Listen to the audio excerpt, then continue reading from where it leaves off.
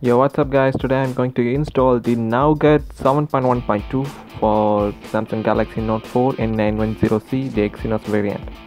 So let's put it to recovery mode and install it. I'm using TWRP. Let's factory reset the device to delete all those previous ROM's data files.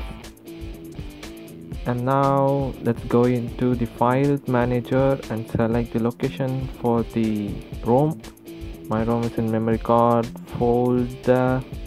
Let's find it uh, okay.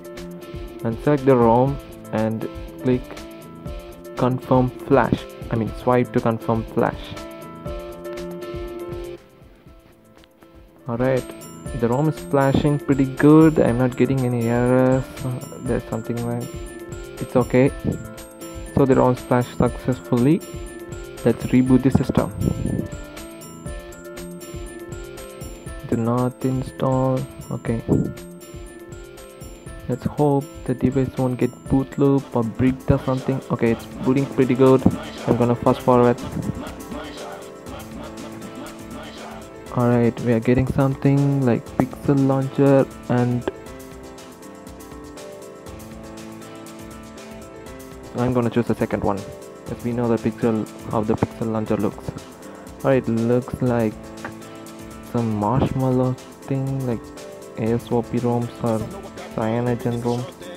Just to verification, I'm going to show you the ROM is for 7.1.2 like see there's uh, the Aura OS version. And the device model is for N910C and the Android version is 7.1.2 which is Nougat and the SIM card is working pretty good for an example I'm going to call the adult service number 121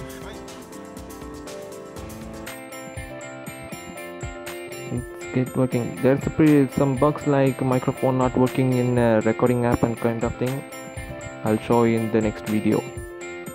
Boom